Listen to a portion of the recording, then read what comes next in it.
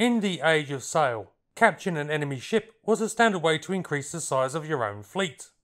At the Battle of the Nile, Nelson captured nine French ships of the line. At the glorious 1st of June, six major French ships were taken.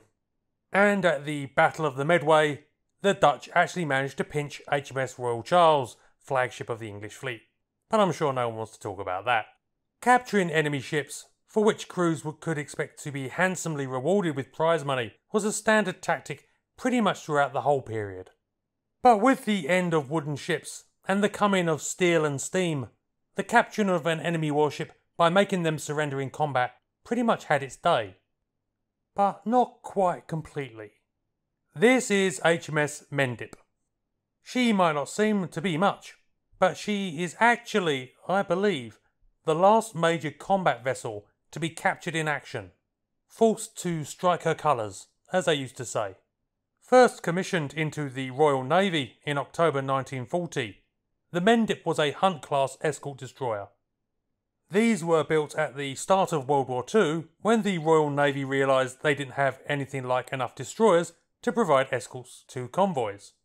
The Hunts were built as smaller and more lightly armed than the fleet destroyers, being designed with an emphasis on anti submarine and aircraft roles rather than against surface forces.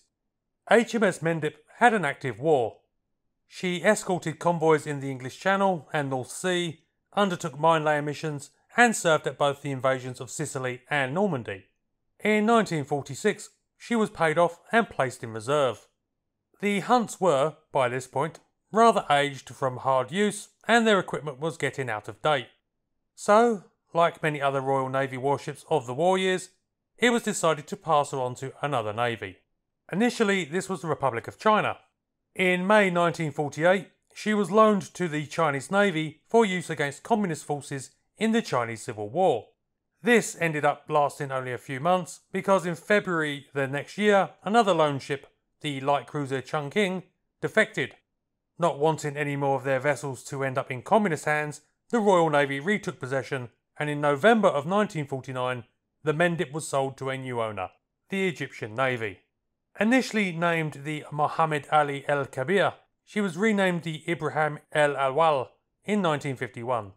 The vessel chugged around for the next few years, representing a substantial part of Egyptian naval strength until 1956.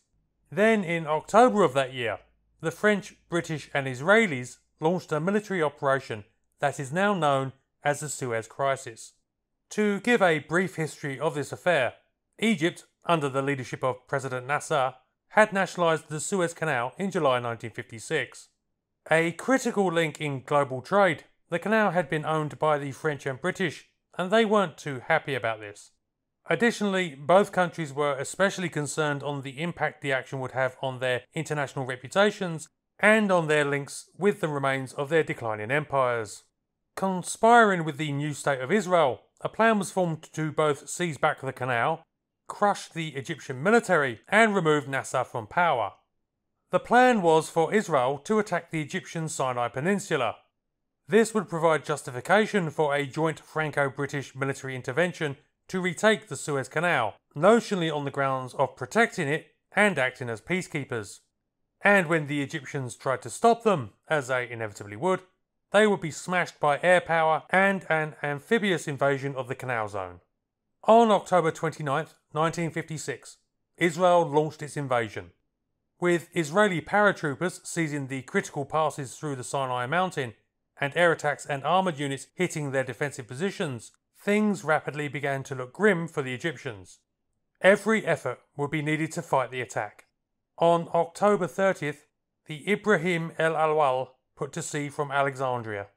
Its orders were to sail up the coast and bombard the Israeli city of Haifa, the country's main port and headquarters of the Israeli Navy. Despite the substantial Anglo French fleet that was then formed up in the eastern Mediterranean, preparing for their invasion, the El Awal managed to slip up the coast.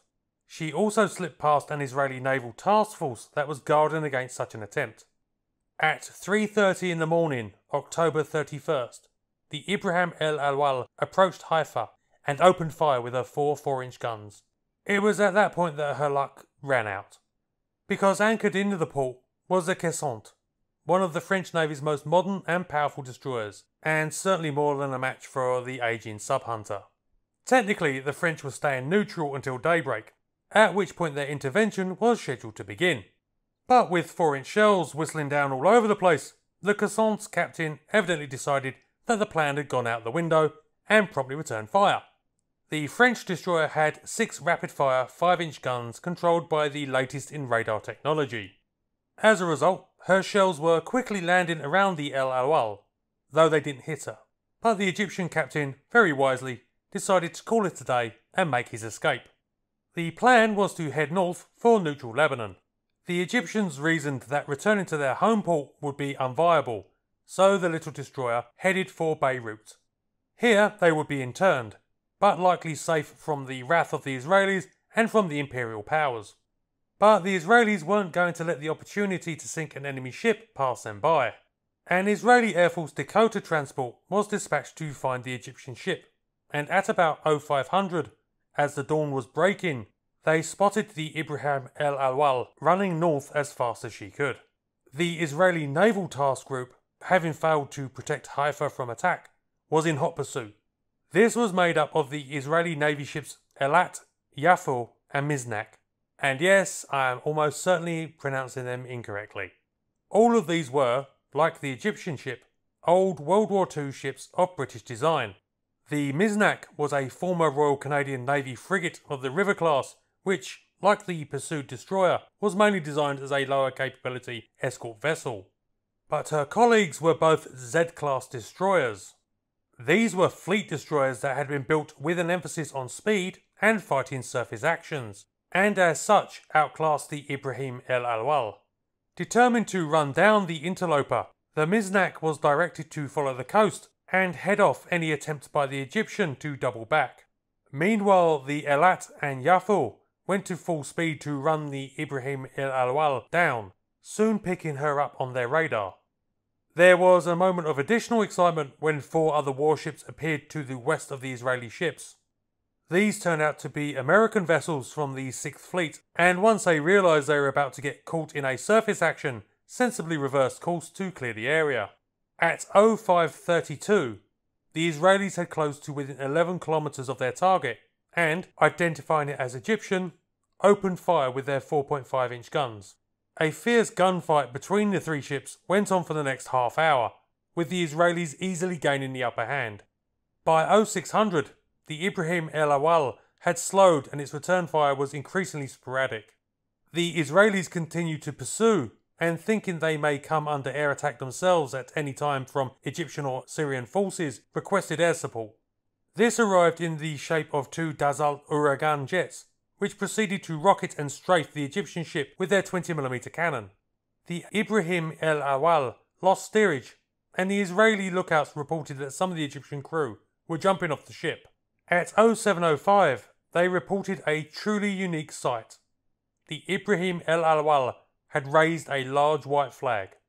The Israelis had already stopped shooting and lowered boats to both rescue the men in the water and to take possession of the surrendered ship. Reaching the destroyer, they were greeted by the captain, Rushdie Tamzin, who confirmed he was surrendering. The Ibrahim El Awal had two dead and eight wounded, and the ship was taken under tow back to Haifa. Interestingly, despite the action she had seen, the damage was comparatively minor. The ship had been hit by only five 4.5 inch shells, probably only one of the aerial rockets, and multiple 20mm cannon shells. Considering that the Israelis fired a reported 436 4.5 inch shells and 32 rockets, the hit rate was pretty low. However, it had been enough to damage the El Awal's rudder and propulsion, making continued resistance suicidal. In the best traditions of naval history, the prize was taken into the service of the victors. Hardly a surprise considering the Israeli Navy itself was at the time made up of only a handful of old ships. She was refurbished and entered service as, no doubt with deliberate irony, the INS Haifa. She would go on to see action in the Six Day War of 1967, where she may have unsuccessfully attacked an Egyptian submarine with depth charges though the details are unconfirmed. Then, a few years later, she was stripped down and in 1969 used as a test target for the new Gabriel anti ship missiles that Israel was developing. And so sank the INS Haifa, previously the ENS Ibrahim El Awal and HMS Mendip, the last major naval combatant to be taken in action.